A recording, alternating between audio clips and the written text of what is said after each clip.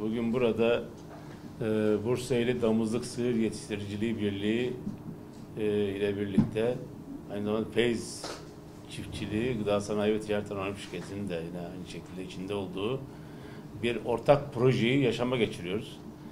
E, ben burada özellikle e, bu projede yer alan, bize destek olan hakikaten e, çok önemli de hizmetleri olan arkadaşlarımızı özellikle de sizi kutluyorum. Teşekkür ediyorum.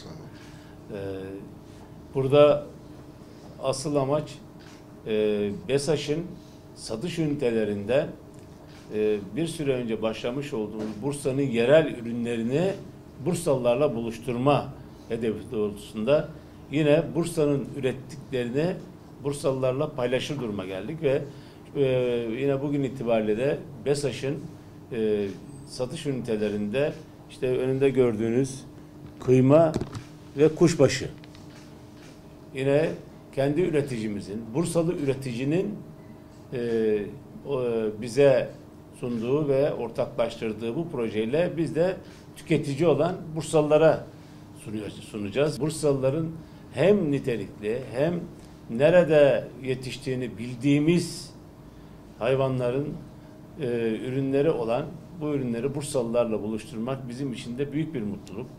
Ben onun için e, hem birliğimizin başkanı aynı zamanda e, Feyz Çiftlik ve Gıda Sanayi Ticaret Anonim Şirketi'nin de yine e, başkanı olan sevgili dostumuza teşekkür ediyorum. Burada e, tabii ona da söz vereceğiz.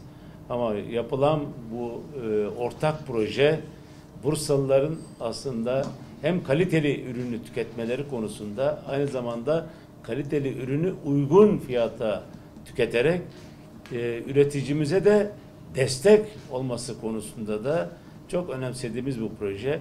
Ben Bursalılara üreticimize desteklerinden dolayı da şimdiden daha teşekkür ediyorum. Üreticimiz de kazanacak ancak burada yine bizim tüketici dediğimiz Bursalılar da e, nitelikli, gerçekten lezzetli bir ete, kıymaya da yine sahip olmuş olacaklar, kavuşmuş olacaklar. Kendilerine çok teşekkür ediyorum ben. E, hayırlı olsun. Evet. Sağ olun. BESAŞ'la e, yürüttüğümüz bu ortaklaşa projede çok memnun edici bir yere geldiğimizi düşünüyoruz. Biz bir üretici birliğiyiz ve üreticilerin daha fazla kazanıp ama aynı zamanda tüketicilerin daha uygun fiyata tüketim yapabilecekleri bir e, Bursa'nın mümkün olduğuna inandık, azmettik. Belediyemizin e, desteğiyle beraber de bu ürünleri Bursalı'nın ürettiği e, hayvanların e, etlerinden kontrol altında ve BESAŞ'ın da kalite kontrolü altında e, Bursa'ya bu hizmeti veriyor olmaktan gurur duyuyoruz. Çok teşekkür ediyoruz.